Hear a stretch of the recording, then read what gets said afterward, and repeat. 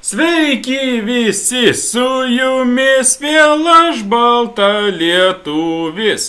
Jie, jie, jie, šiandien vėl filmuojam naują ragaujam epizodą. Taigi sveiki visi su jumis vėl, aš balta lietuvis šiandien kaip įprastai filmuojam naują ragaujam epizodą. O atspėkit, ką šį kartą mes ragausim. Nu ką čia spėlioti, taip jau pavadinime jau aišku, taigi amfora graikiškas jogurtas su braškėmis. Šis jogurtas iki parduotuvė kainuoja euro 25. Kaip už tokį dėžutę, tai sakyčiau, gal net ir brangoka. Mes žiūrėsim, ar įsiverto šios kainos ar ne, žinoma, žvelgsim jos sudėtį, žiūrėsim, ko čia jį pridėtų, na, žinoma, kad įvertinsim jos skonį. Taip, žiūrim, ko čia jį pridėtų.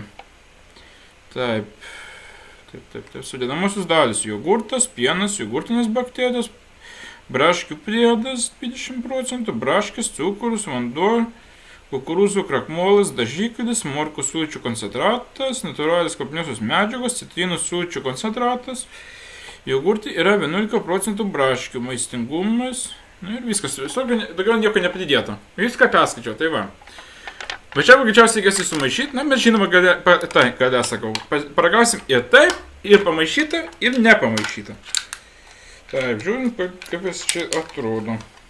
Kažkada tai aš kažkokį bet panašų, panašų jogurtą pirkau, tai man visai nepa, labai nepatiko jis. Na, dabar žiūrėsim, aišku, ne šitą, aš ten kitokį pirkau, na, bet žiūrėsim kaip šitas. Kad šiam jogurtą suvalgyti reikės šaukštuko.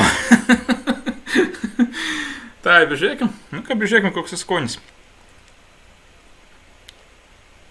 Jo, čia va šitas va ir yra jogurtas ir aišku, tada aš jį pirkau be tų braškių. Va dabar su bra, be, ne, nesumaišius, tai labai neskanu. Va paragausim, jį sumaišytą. Labai neskanu, nesumaišius. Va paragausim, kaip jį sumaišytą.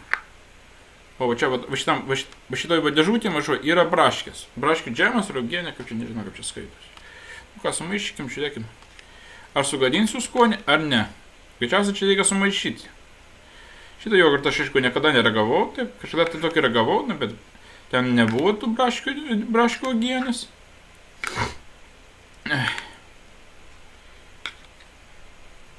O jau ir kvapas visai pasikeitė, visai kitoks kvapas, jau malonesnis kvapas. Tada taip, taip, taip, taip bet tos, uogien, bet tos uogienės buvo labai, labai toks paprastas kvapas, toks jausmas, kokia ten varškė būtų sudėta.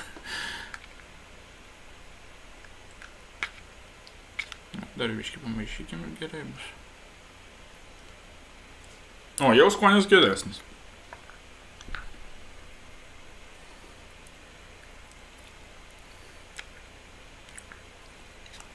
Mmm. Jau skaniau. Jau labai net skanu, galiu pasakyti. Ne pačias, ne pats mėgstamiausias jogurtas, ne bet ir ne pats labiausias. Tikrai, kad skanu jau. Jau galime ragauti.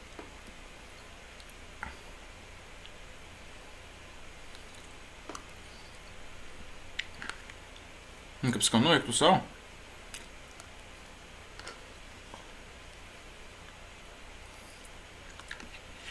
It is delicious, kaip angliškai sakyčiau.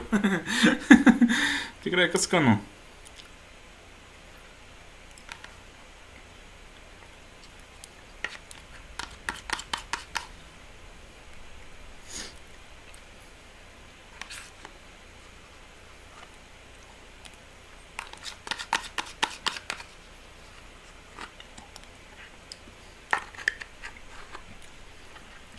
Va, žinokit, aš jums patarčiau, kaip nusipirkti šitą jogurtą, iš karto geriau neragaukit to, tuos, nu, tuos grėtinėdus, ar čia, kaip čia, ar čia varškė grėtinėdė, greičiausiai kažkokie tai.